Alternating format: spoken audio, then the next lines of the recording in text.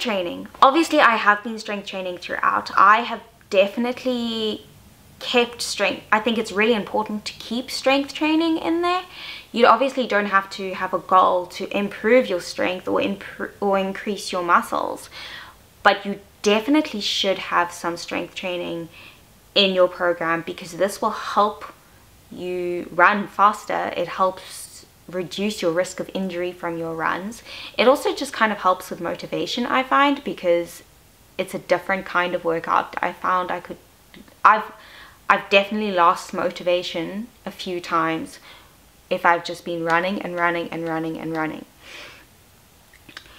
For me, I have had a goal of improving strength, increasing muscle for the past few months uh, since August last year.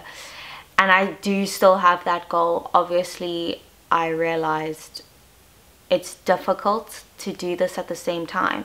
The more research I did, it's actually very possible to run and build strength and muscle. It actually is easier to do that than if you are trying to lose weight and you're in an energy or calorie deficit and still run and strength train. That is a lot more difficult. But if you're eating enough, you're fueling yourself, you are actually in a bit of a surplus, then you can definitely run, do lots of cardio and strength train and build muscle and strength. I've been able to do it throughout this. Haven't done it as much as maybe I could have, but I'm also um, just building strength and muscle at a very slow rate. The reason that you can strength train to build muscle and increase your strength and everything while also running is because running improves your aerobic threshold and your endurance. That'll help you in your strength training sessions to actually get more sets and get more reps, be able to increase the weight. It increases your fitness. Endurance training increases your fitness. It allows you to push harder, it allows you to go longer.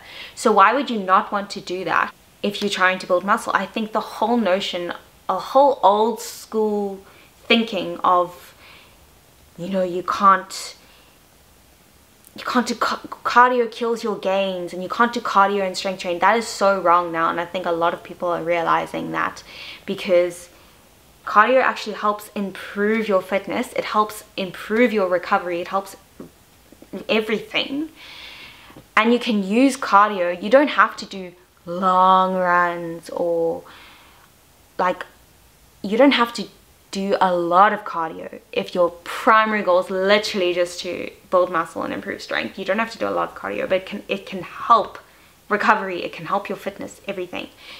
Anyway that is a whole nother topic in itself.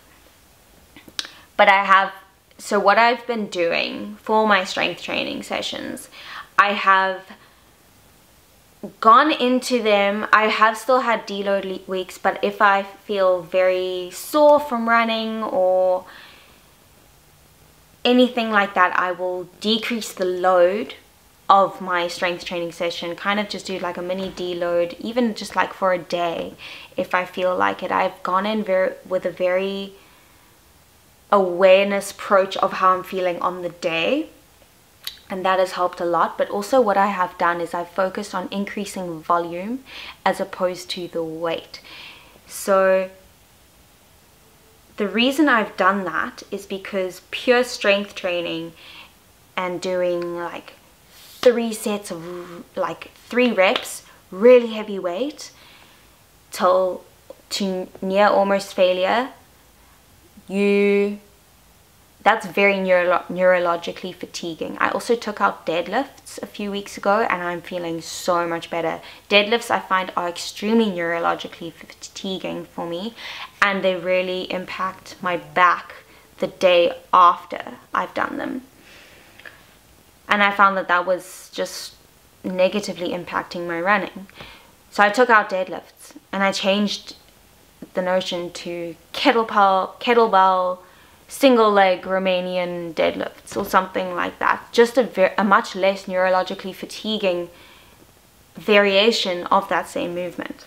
What I did overall was increase my volume in the workout and decrease the strength side of things. So I focused more on hypertrophy kind of training than strength training, as well as adding in performance things like lots of uh, broad jumps and slam balls.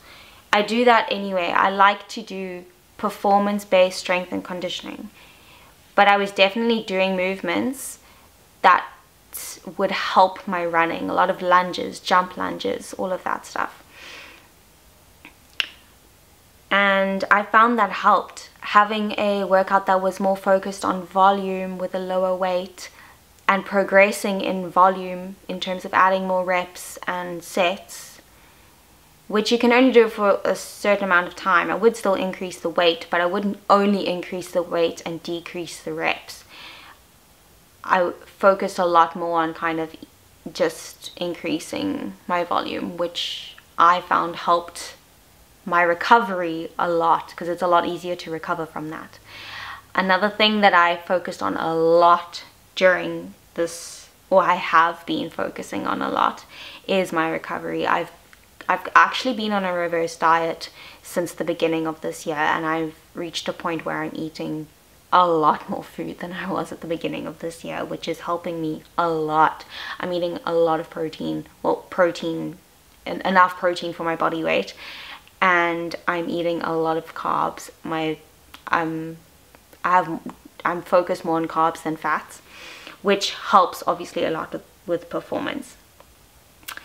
Then I've also been doing cold showers and a lot of contrast therapy.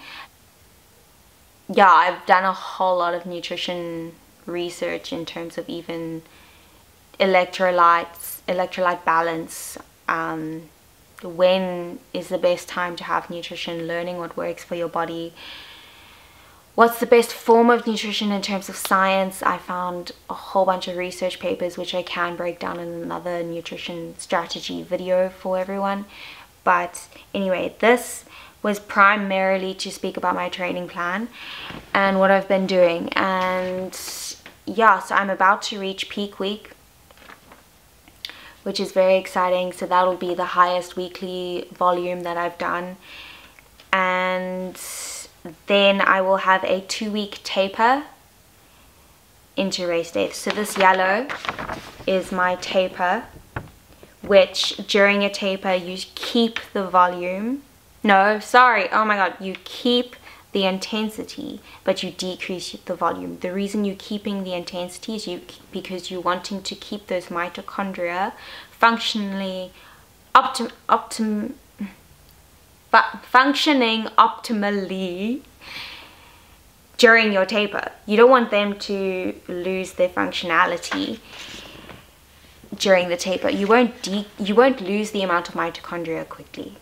So that's, a, that's why it's okay to decrease your total volume by a lot, but you want them to keep functioning optimally.